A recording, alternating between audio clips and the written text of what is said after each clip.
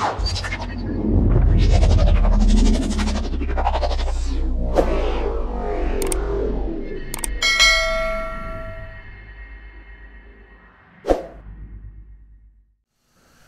Everyone, welcome. My name is Adam J Pestridge. Welcome to another P3D video. Today we're going to be looking at a new addition to uh, P3D add-ons. Um, it's by RD Presets and it's called RD Shade.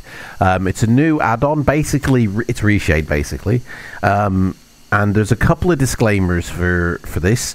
Um, I'm basically going to go through the entire app and show you how to get the best of it, um, and sort of explain what everything does, and uh, give you a couple of disclaimers. Like for instance, the first one being if you use EnvShade, if you already use Reshade, or if you have you uh, installed my SkyPac, you've already created what. Um, about 70% of what this app does. Um, this app doesn't bring anything new um, in terms of files. It doesn't insert any files into your sim. It just allows you to modify the CFG files, the um, FX files, the shader files, and tweak them to your liking. That that's already you know in your sim. About thirty percent of this app. Um, is in the P3D menu itself that you have the ability to change. Um, I'd say about 40% of this um, is in the CFG files for volumetric clouds and P3D, and then like the rest 20 30% is in the FX files and shader files. So you have already got everything at this, what this can do, um, already at your fingertips, but this just explains what you're doing um, as you change the values, and that's that's the good thing about this. Um, so if you don't know how to tweak P3D, this basically just shows you how. So this video is going to be kind of like a tutorial, but also kind of like a review. I was given this copy for free to have a look at, create some presets for. So thank you very much. Um, and uh, yeah, let's let's get started. So when you first install this, um, and I'm sure this is going to be updated in the future.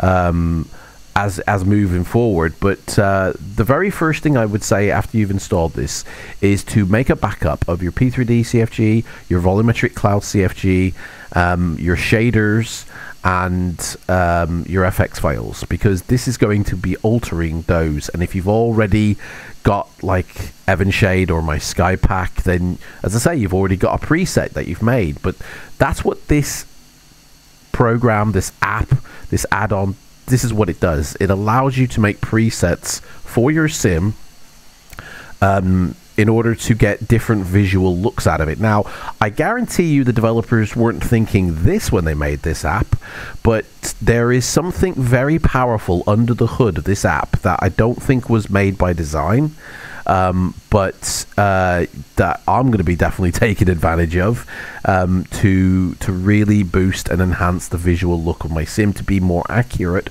around the world. So for, let me just have a little discussion here about what flight simmers with P3D generally try and do with their sim when they first install it. You know, you set up the brightness and the saturation and get the visual look of your sim like pleasing to your eyes. And what most people will do is they'll look outside into the sky and go, right, that's what color blue in the sky is, right? So this is the color blue I've got here. We're sitting in Japan, and that's what color blue is over Japan. And what users, what flight simmers tend to do is exactly that. They'll look outside their own window, go, ah, that's what the sky color blue is. Let me match that to my sim. I know I do it. Um, I know a couple of friends who have done it, and I'm sure most people people have done this when they're setting up the saturation, bloom, and brightness of their sim. Um, I've done videos on how to calibrate your PC to your sim, to your GPU card. Um, I advise go check those out as well. Um, but uh, a little bit of a um, thing here like this this app here this preset app all it does is allows you to create profiles or presets that you can then just quickly um, you know open or use whenever you want um, I wish it gave you the ability to save your current state of your sim. It doesn't actually give you that option. You can restore P3D default shaders. You can reset a current preset, but you can't save what you've got present. So that's why I say make sure you back everything up because once you start playing with this and click save, it's going to change you what you've already sort of put into the, your sim, and it's going to be you know near enough impossible unless you go through each tab and click restore or undo back to what it was, not what the default is. Because when you're going through these um, menus, and again, and I think this is another thing I wish was in here, it gives you the P3D default values. Doesn't give you the default values of what you've got currently in your sim. It gives the P3D default. So when you click restore, it's restoring P3D default values back in, not what was currently set by yourself. Um, like if you've downloaded my SkyPac, it's there's already CFG changes um, in P3D, so it doesn't restore back to any changes you've made. It just restores back to P3D default. But um, so, but guess what, guys? The the sky color around the world is different depending on where you live. So Los Angeles sky blue is different from Sydney, Australia sky blue, which is different from China sky blue to London Heathrow sky blue. They're all different shades of blue, different tints, and the reason being is because the earth is round, the light enters through the atmosphere at an angle and hits the landscape um, in different wavelengths all across the globe. So it automatically gives off a, um, a slight shade or tint um, of the blue that you'd expect to see. Plus, also, there's a lot of other factors that determine the sky color in terms of do you live near the sea? Um, do you live in a city where there's smoke and light pollution? Um, and and what time of year as well will also dictate the temperature of the sun, which again dictates the color of the sky. So all these factors go into changing this sky blue color. So everyone is really going to have a different sky blue color that they have in their mind as that is what an accurate sky looks like, and that's probably why, you know, programs like Shader, uh, like Reshade or EnvShade, have been created so you can actually, you know, have different levels of blue or different levels of color and saturation um, at your fingertips for whenever you want. And this is this is the biggest I think the most powerful thing of this is that it allows you to create profiles, presets. So you can create a London preset, a Barcelona preset, a Australia preset, a uh, you know Canada preset. Depending on where you live in the world, you can actually tweak it accurately to where you you know are positioned in the world. So if you're flying in Australia, you can have an Australia blue sky, and that to me is the biggest um, draw or feature of this app is that it allows you to create presets and profiles. And for that very reason is how I'll be utilizing it is to create an accurate sky blue around the world. But the disclaimer is if you as I say have already got EnvShade or downloaded my SkyPac there you've already used about 70% of what is in this this uh, add-on. This add-on does not bring anything new to what you can already do in your sim. It just explains what you're doing and allows you to tweak it knowing the change you're going to make. Saying that as I say, there's about 30% of all of this you won't need if you are using my SkyPac and you want to continue to use the SkyPac because anything you do in this tool will override EnvShade, Reshade, or my SkyPac. So that's why I say back everything up because if you don't like the changes you've made, you can just revert back. So, saying all that, let's go through this whole thing. So, the help section is pretty nifty. There's buttons here that'll click you onto their website where you can actually download presets. Uh, same here where it says default presets. If we click that button, there's about nine people who have already um, offered up presets, and and you know these are going to be very specific to their um, their sim, but you can try those out, see what they look like. Um, clicking this takes you to the website, so you can actually download other people's that they've uploaded. I'm, I'm assuming that when you save a preset, it might upload it to their website automatically. I'm not really sure.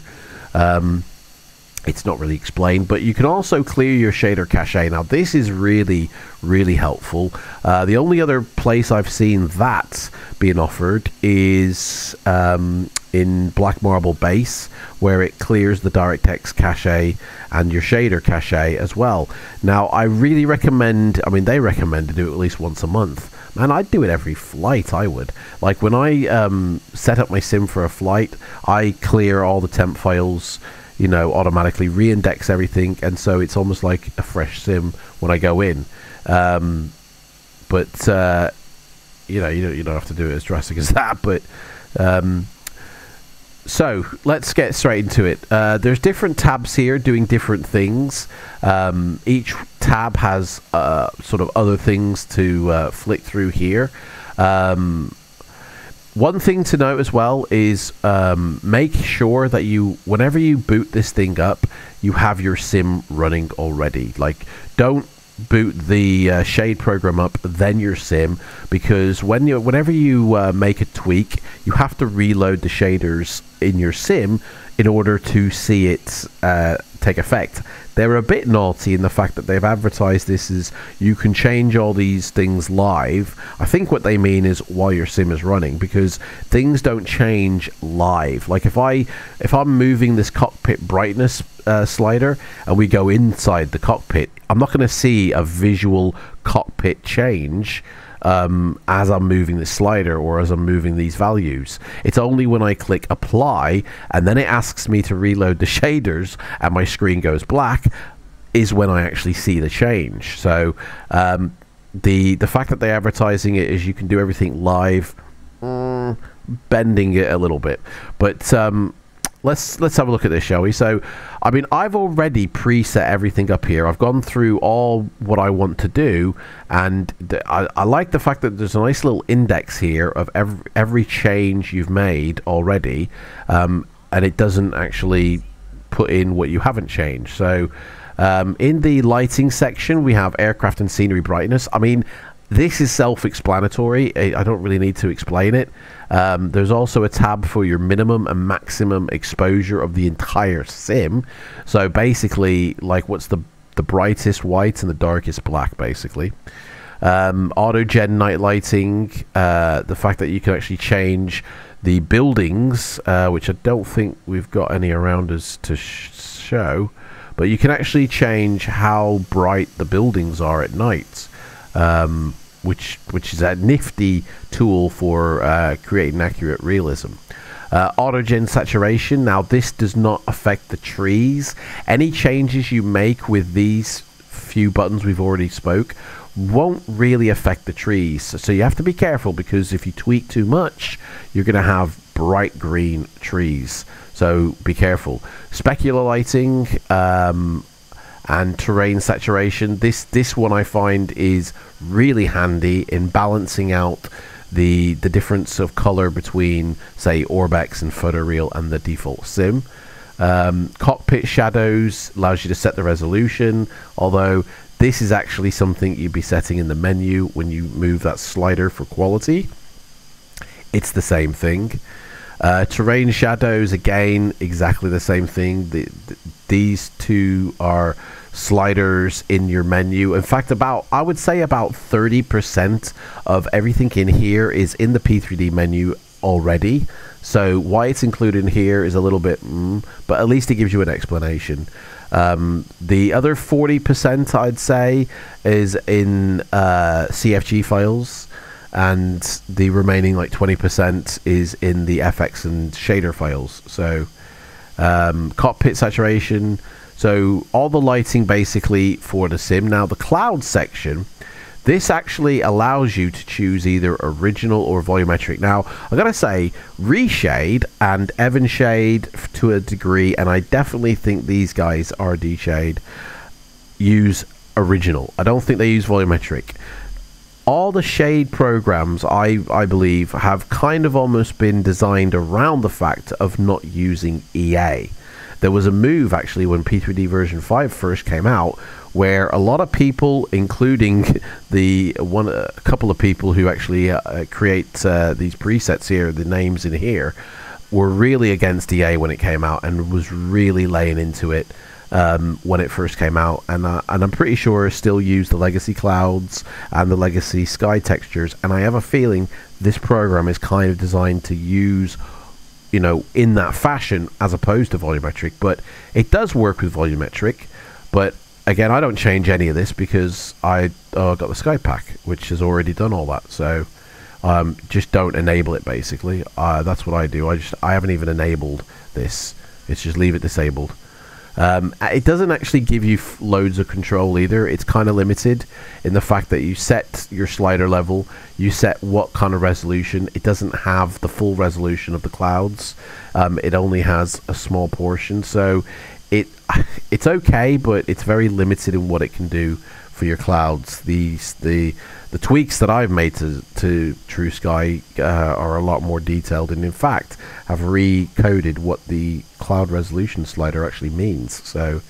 Um, and under Sky, you can change your fog influence.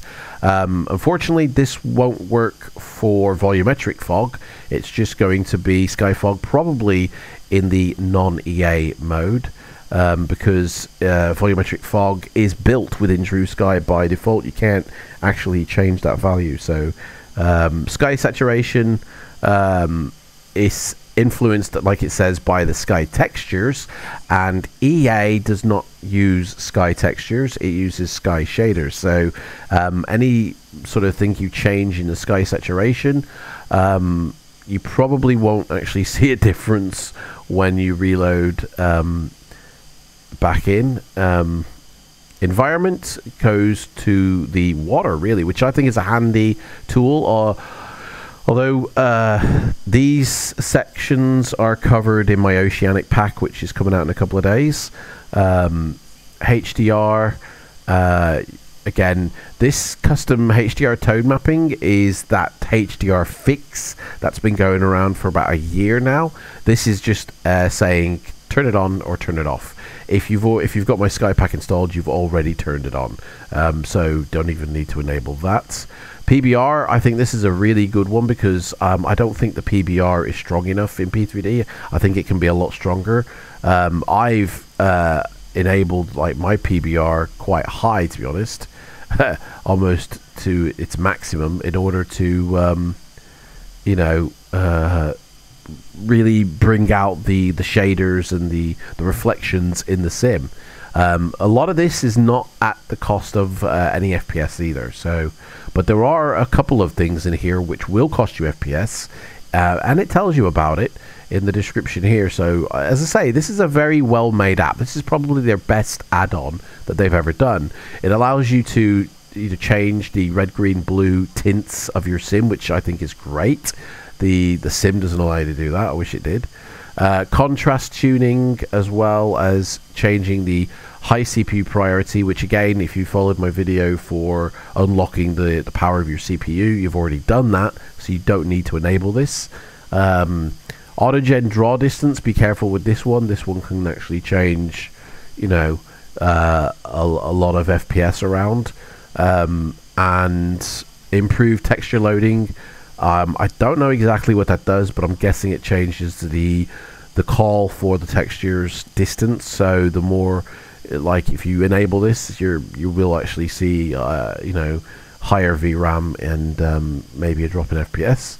And improve runway lighting. This actually adds entries into the P3D CFG that aren't there to improve runway lighting. Um, and tree optimization. Again, this this is a tweak that I actually make myself in my CFG file. Um, so I'm kind of glad that it's here, but I don't know what value it inserts into the sim. Um, and haze issues, this is kind of pretty much enabled by uh, most weather engines. Um, and then you get an overview, but I've never seen anything in this section. So what we're going to do is basically, I have already created a tweak so this is basically my sim without any tweaks whatsoever. So this is what uh, it looks like. And now I'm going to throw in my tweak. So we want to open preset, scroll down, put in the Adam experience, click open. Would you like to apply the loaded HDR settings now? Click yes. And then it asks you in the sim to well, it should ask you in the sim to reload the shaders, but it didn't. That's a bit of a rip, isn't it? Uh, so I opened the presets. Um, I don't need to save it. The apply button should have actually gone. It says active preset, but it hasn't actually loaded anything. So that's a bit of a weird one. Uh, it should have actually. I mean, maybe I have to go through. Right, I think I'm just going to have to go through each one of these, make a slight change, change it back. Oh no, it, then it clicks that off. Guys, this is this is made on the assumption that you're going to be doing enabling and applying as you go along and then you save your preset but it doesn't actually use the preset say the settings user is set this way you can easily switch between different settings without losing the presets make it easier but it doesn't apply it when you do open a preset so I've opened it so how do I apply it I didn't say apply preset now it doesn't there's no Open preset function to import your settings into their RD shade. Yeah, we've done that, mate. So how about you change it? Presets make it easy. I mean, reset current preset? Surely, to the last saved state, yeah. Yeah, I do, mate. Last state resaved. Still nothing. Hey, dude. I mean, this is a bit of a balls up, isn't it? Reset cloud mode or restore all. Live edit shaders. Uh, try open it again. If you click no, cannot apply loaded HDR settings later they are synced every 30 seconds with current. Oh, that's, uh, okay. Click yes. HDR settings applied. No, it hasn't. Right, well, I guess you've got to go through it one by one. Maybe in an update they'll fix that, but there's no way to apply your preset. It doesn't actually change it. So, I don't know what to say, mate. If I disable that and enable that, that apply goes. So I've literally, even though I've created a preset, I can't apply it. I have to go through one by one and add it then. Adam gives this two thumbs down. Like, the basic of what it says it can do, it doesn't actually do. So I don't know if there's something I'm missing or what's going on, but I mean these are the here are the tweaks that have been en enabled, but they're not actually changing jack. So 1.4 0.5 I think that's what it was. And then we click apply. And that's what should have popped up in the first instance. So reload the shaders, everything goes black. I mean, I'm just going to have to go through each one of these. Restore and then uh, re-enable. So 1.2, 0.5, restore, enable, 1.2, 0.5, and the apply button disappears. Brilliant. What a load of crap. Anyway, guys, enjoy playing with your sim. Uh, once you start, you won't be able to stop, basically. There we go. Uh, oh, gosh, that's, made a big change. Uh, I think it actually now has changed. I think it actually, now that everything's loaded, everything has changed by the looks of it. So, there we go. Yeah although it hasn't actually done the PBR change so rip on that one but yeah I think it has changed quite a lot so anyway we got to go through each one this is bullshit man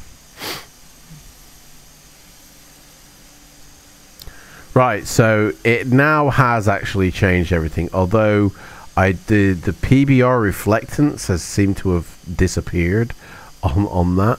So let me restore uh, that one. Uh, 1.5. Change to 1.6. 3.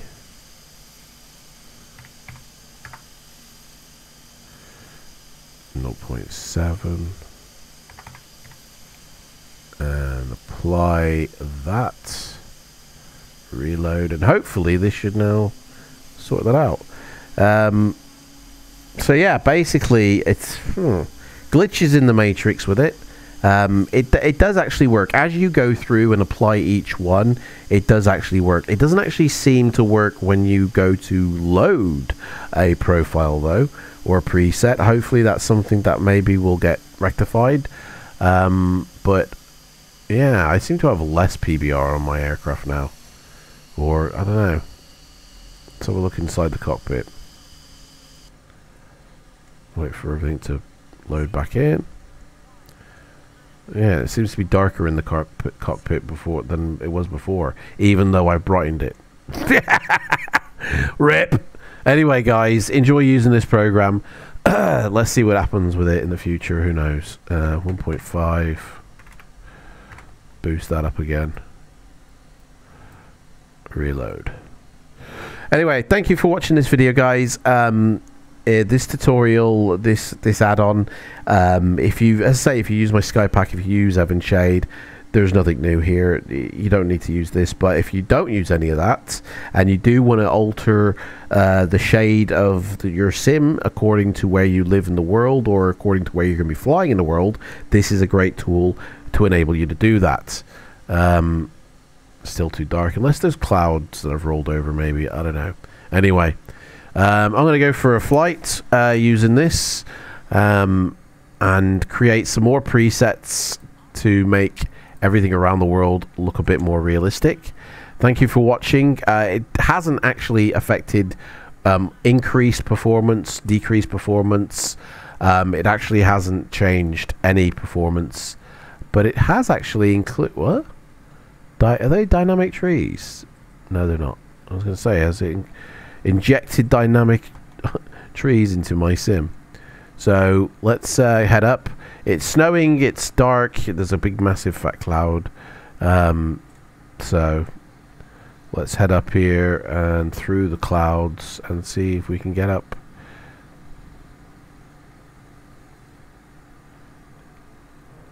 into the sky. Um, I think this is a good add-on. I think you can do some good tweaks in this, and at the same time, do some damage to the sim. Um, I'd be very careful about changing shaders um, values, especially the tone map, um, and then applying that preset when you've updated or repaired your sim. I have a feeling it's going to um, corrupt the sim unless you know these guys have updated their product to fall in line with the current uh, shaders. Um, I think this is uh, a worthy uh, addition for using it. Um, I definitely will be taking advantage of it. Um, and yeah. One thing I would say is when you're doing your tweaks, make sure that you are not pointed towards the sun because it's going to give you false values. So if you do want to tweak, uh, which I can't even find the sun in the sky, there it is, make sure that you're flying away from it. Um, don't fly towards the sun to make any changes because if you've got EA turned on, that sun value there is absolutely accurate and um, is directional. Uh, unlike if you're using the legacy, like EA turned off, and you're using the legacy side of it, it's a static set value. So it's easier to tweak with EA off. Um, EA turned on, you want to make sure that you're not pointing towards the sun, that you're pointing away from it, and the light values that you see will be more accurate. Anyway, guys, thanks for watching this. Uh, don't forget, I give 50 euros of Sim Market vouchers away every month. All you have to be in with a chance to win is a subscriber on my channel and put a comment down below and at the end of the month during my live vlog I choose a winner. Thank you so much for watching this guys and I'll see you in the virtual skies. Bye bye.